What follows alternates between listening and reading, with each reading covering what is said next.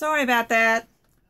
My camera, um, actually my phone ran out of storage.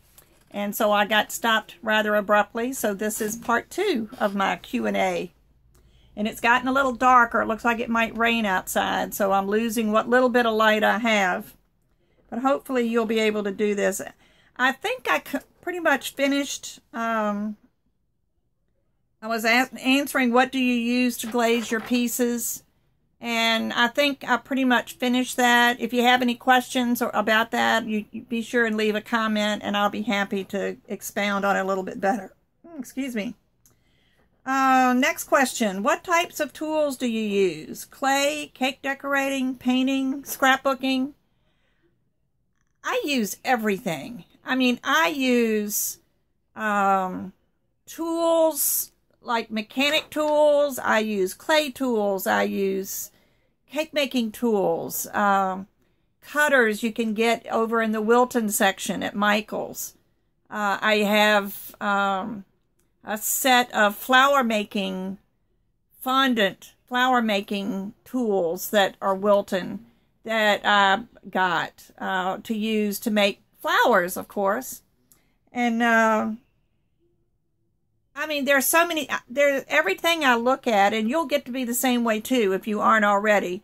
Everything you find, you say, "How can I use this with polymer clay?" And it just kind of evolves that way. And Harbor Freight is one of my favorite places to go. I can walk around in there and find all kinds of things whether it's storage. That's where I got these boxes back here that where I store my my clay. Um,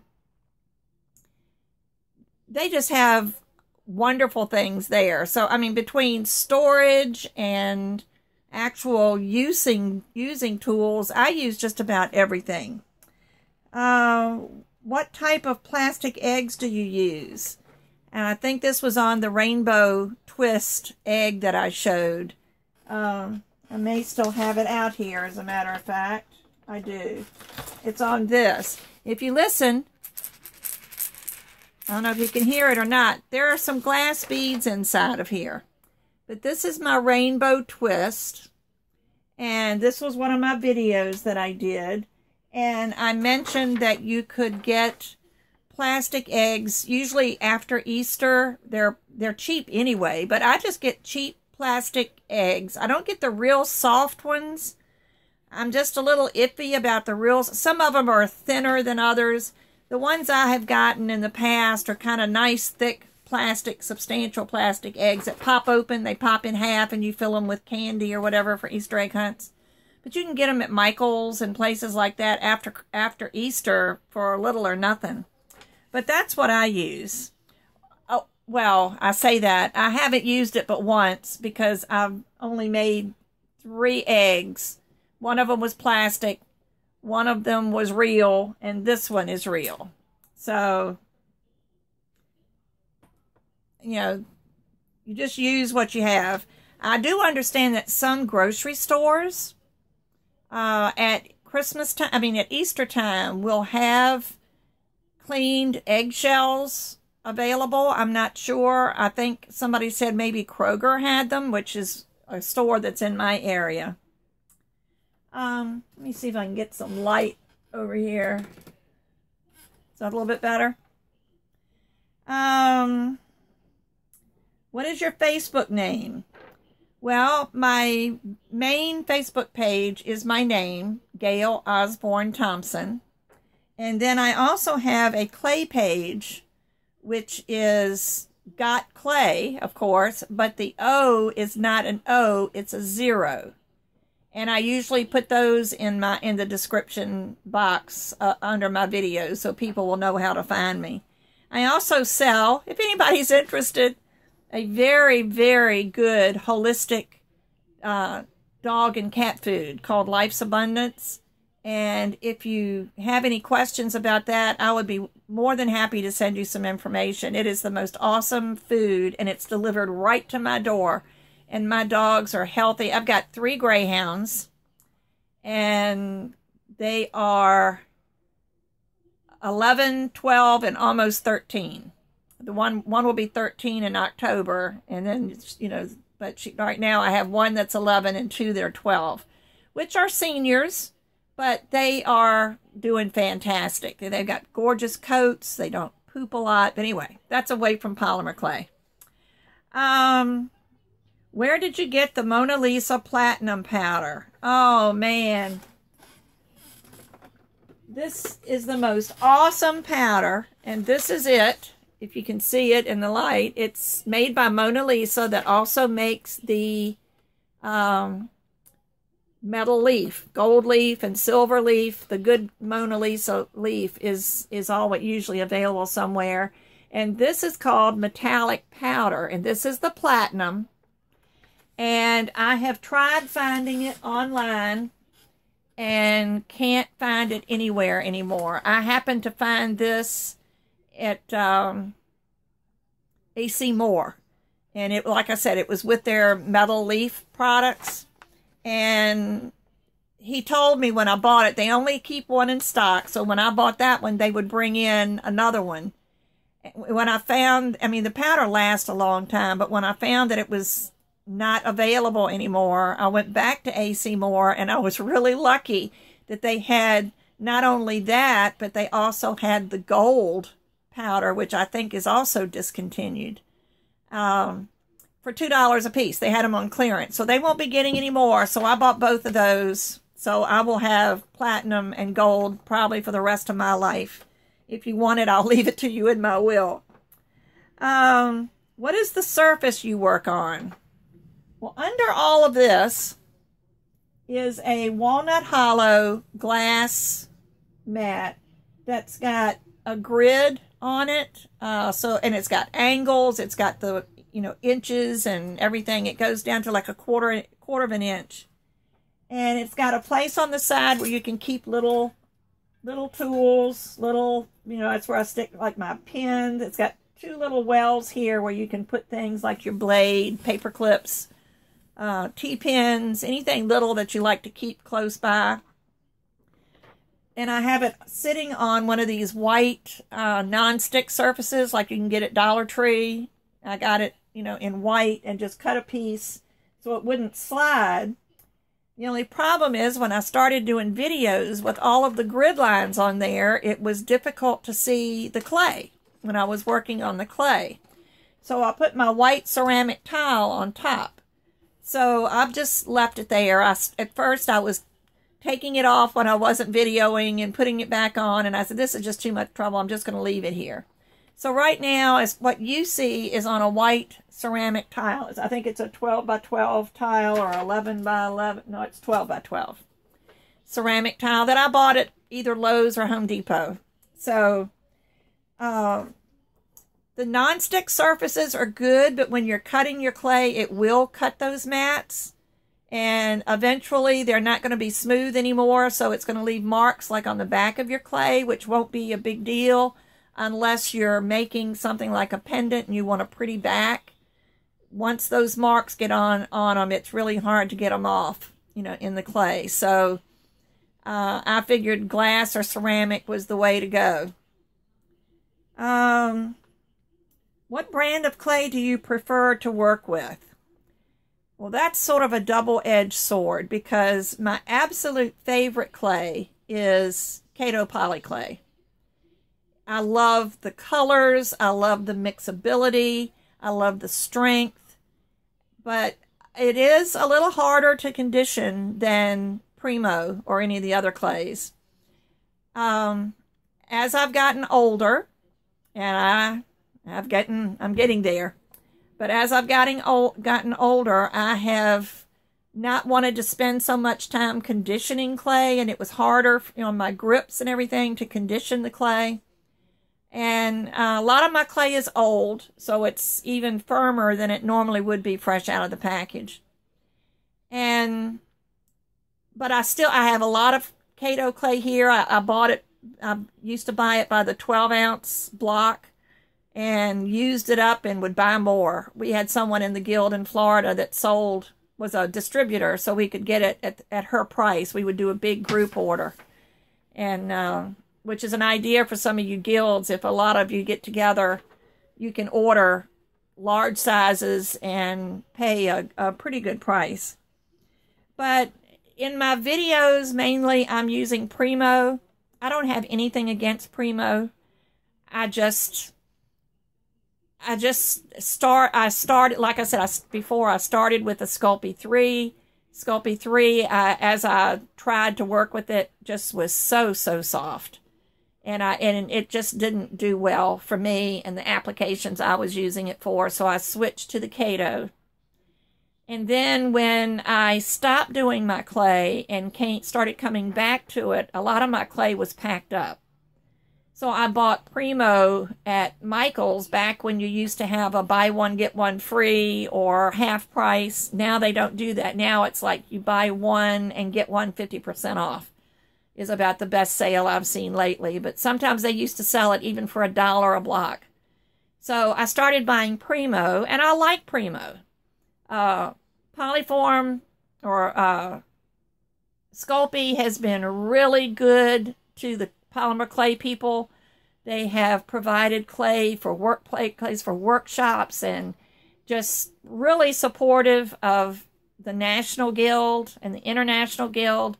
And so Premo is what I buy now and probably will. And, you know, I'll use the Kato for projects that I'm doing on my own and continue to use the Premo in my videos. I, like I said before, the only way I use Sculpey 3 is if it comes to me as free. Um, there are some clay uh, distributors out there that if you buy a certain amount of money, a certain amount of clay, they will send you three free Sculpey 3s or whatever. And I have those and I use those up in projects that don't make a difference. I do know that I have mixed Kato and Premo and came up with an amazing clay. It's a shame they can't work out some kind of a deal. Um, they both cure at the same temperature, but the Kato is so much stronger when it's cured. And and the Premo has got gorgeous colors and it it looks nice when it's cured. But if you mix the two together, you have a fantastic clay. All clays are different, but if you mix those two together, they're wonderful. Um, the only thing I only caution I would give you is if you are mixing a translucent or a white, that you lean more towards the premo um, if you're going to continue to bake at 275 because the, if you bake at 300, like most Kato clays cure at, then you're going to yellow the clay if there's premo in it. So if you're going to be doing whites, I would lean more towards the premo as far as the larger percentage. Maybe do 60% premo and 40 Kato or 70% premo and 30 Kato. That way you'll still get the strength of the Kato and the uh, you won't get the yellowing as at the higher temperatures. Um, what are your favorite things to make with polymer clay? Just about anything that comes to mind. I've, when I first started with polymer clay, everybody was doing jewelry, and I am not a big jewelry person. And yet it seemed like that was the only thing anybody was willing to pay money for. That's the only thing anybody wanted to buy. Everything, everybody wanted to make beads and make canes to make jewelry. So I got into that and I do love to make canes. That has got to be my favorite thing to do. I love canes. My problem is I'll find a pretty cane that I really love and then it sits in my stash for years because I don't know what to do with it after I made it, but I sure enjoyed making it. So I think the favorite thing to make with clay for me is canes. And I've, I, I love, I think I'm going to be doing a kaleidoscope cane pretty soon, a video on that, because those can be absolutely gorgeous. And you can do one with scrap uh, or leftover canes that you've like I told you, I've got some that I've had for years and years and years. I went to a Lynn Schwarzenberg um, workshop where we made like it was seven or nine canes out of one base cane, and it came. Oh, they were just gorgeous. And I've still got some of those flowers left over. I've used um, most of them, but I've got most of them used. You know, I've got some left. But um, my favorite thing is canes. All right. And speaking of canes, how do you store your canes? Well, I have a couple of things. And if I can turn my camera without messing things up, let me show you. All right. This right here is a fishing tackle box. And I've got it sideways. And I bought at Walmart. And it's got four drawers in it. And these are all full of canes. This is what I started with. And I've got flowers and leaves. And this one, swirls and miscellaneous. I've got geometric. And I've got my name cane and face cane pieces in the bottom one. Well, when I filled all those up, I thought, okay, now what do I do? So I started just wrapping them in my plastic wrap and storing them in big containers. So I was always having to dig through them to find the cane that I wanted to work with. And then after a while, it got to where I didn't dig through at all. They just sat because it was too much trouble to dig through them. But now, if you look here, this is one of, this box here I got at Harbor Freight. And it's one of these toolboxes, you know, with the drawers. This has the old uh, Premo colors in it that are open. So I, when I'm going to pull out clay to use for a project, I look there first to see if I have any open. And if not, then I go into my drawer where I have the other stored. But the other one, I incorporated and I'm putting my canes in there. And if you wrap your canes to where the, like this one, if you see this, if I have that up at the uh, end, up against the clear of the box, then I can look at it and see, oh, there's my green, you know, uh, bullseye cane. And, but that's where I keep canes. They're all wrapped in plastic. And then above it is an old um, storage container. And I'm really not sure what it was for, but it's a deep container. And with the dividers. And my larger canes that won't fit in here, I'm putting up there. There's the black and white that I did the other day. And then way up here on top, and this is one of the short ones. I've got some long ones and some short ones. These are ammo boxes that you can get at Harbor Freight. And they're made for bullets, for people that fill their bullets.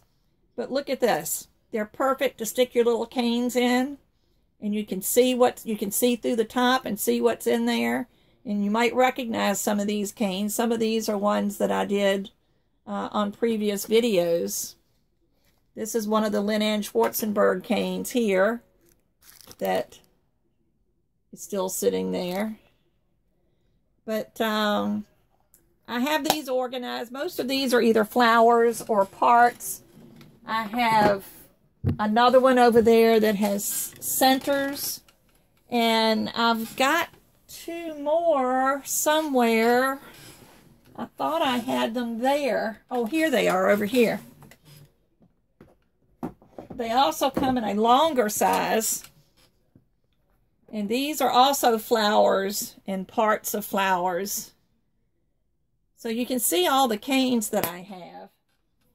And then this one is flower centers.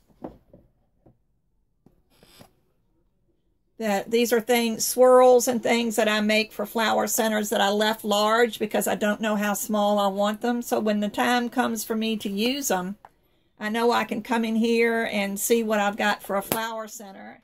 Or I can make a new one. Whatever. But as you can see, I've got shelves and containers everywhere. But that is how I store my canes. And let's see, what else? How do you get the core adapters for your extruder?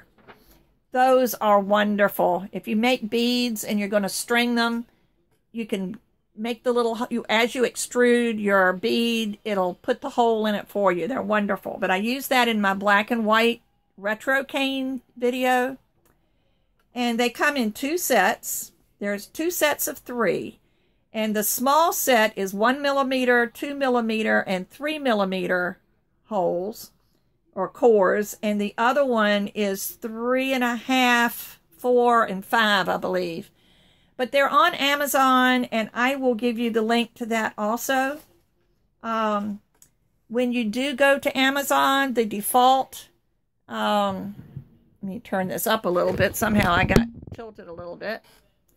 Uh, the default size when you pull it up on Amazon is the larger set. If you want to do things like the square extruded cane that I did uh, on my video, then what you'll want to do is to get the small set. Otherwise, you'll have a huge hole in the middle instead of the teeny tiny little hole in the middle. So be sure you get the small set, but they will fit your Makins, the Walnut Hollow, or the Lucy Clay extruder but they're the core adapters, I think is what they're called, C-O-R-E. But I will put a link to the Amazon link there, but that's the best place to get them. And what are stickles and when do you add them? Stickles is what Sarah introduced me to, and if I could get to them without knocking the camera over, I'd show them to you. But it's in one of these little small squeeze jars, little bottles and they are a glitter glue, but it's very, very fine glitter. It's not like the craft glitter glue that you find in the stores. This is very fine. And just if when you have like when I'm doing mosaic tiles and I have one that it looks okay, but it just needs a little something, take a little stickles and put them on your finger and rub it across and it adds just enough bling to make them gorgeous. You can also add them as accents. You can put little dots uh, on things, but always use it after your clay has been baked. I don't think that the, the stickles will stand up under the heat. So be sure you do that, uh, that you leave it, you know, put it on after it's baked. And I'm about to run out of time again. Um, and how do you add script to your tiles? I do that a number of different ways. I have uh, stamps that have words on them. I have alphabet stamps. Uh, Tonja Lenderman has some marvelous stamps that uh, I used on some of my tiles on my uh, Proverbs 31 uh, box that I did for my daughter-in-law. But this one goes, the words go up and down these go straight across. I'll put a link to her website. She's got some fantastic um, photopolymer clear stamps that she makes, and she makes them herself, and she's fantastic. I've got oodles, but that's how I do that. And uh, she sells them in her in her uh, Etsy shop, and the name of her shop is Tonja's Treasures, and it's T O N J A S Treasures. So if you get a chance, check her out. Well, I think I'm going to run out of time here shortly. Um, I don't know if there's anything else I wanted to show you except maybe my baking setup. There's my oven, but you can't see what I wanted to show you. I used the tray that came with my oven. I put a ceramic tile in it, which helps equalize the heat underneath your uh, piece. I put my clay piece on here, and this is just an old foil brownie pan or something that I put on top, and that's how I bake my things. Everything I bake, if it's taller than this, I just bend this up so it'll fit.